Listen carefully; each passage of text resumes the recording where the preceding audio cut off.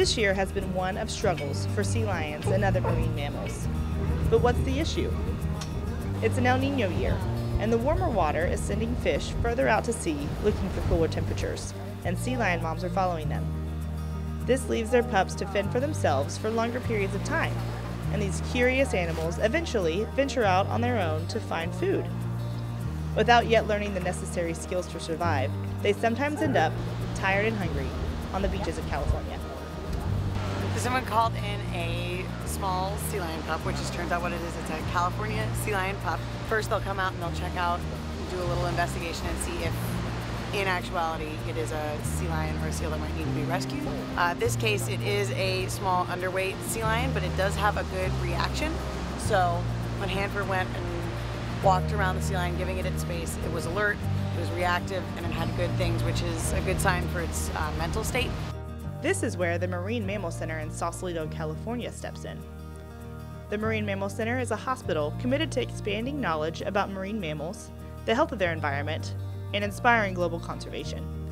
Their core work, however, is the rescue and rehabilitation of sick and injured marine mammals, such as the California sea lion, elephant seals, harbor seals, and the Guadalupe fur seal. The Houston Zoo is also committed to saving animals in the wild, and when we heard they needed help, the zoo sent two staff members to volunteer for a week with these amazing animals. When an animal is found on the beach, the Marine Mammal Center receives a call and immediately dispatches a team of volunteers to assess the animal and see if it's in need of medical care.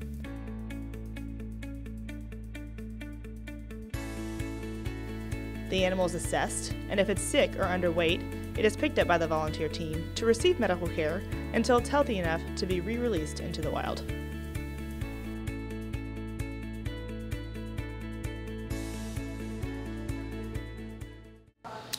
So this is the tubing kitchen and what this is all about is creating fish formula or what we call fish milkshakes for our patients.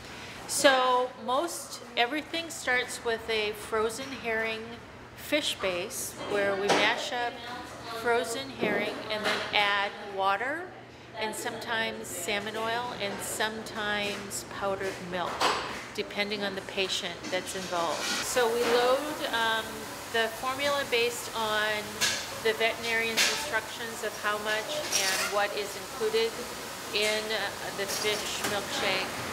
And then the tubing crew actually takes it out from here to the pen and um, gives it to the patients. Tube feedings are common for elephant seals that are underweight or have not yet learned to swallow, a behavior taught to them by their mom.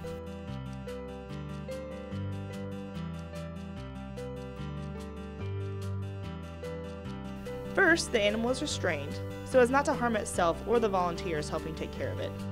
Once it's safely in place, volunteers begin the tube feeding process.